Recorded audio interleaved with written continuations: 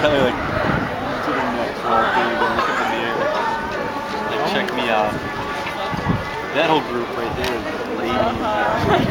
ladies.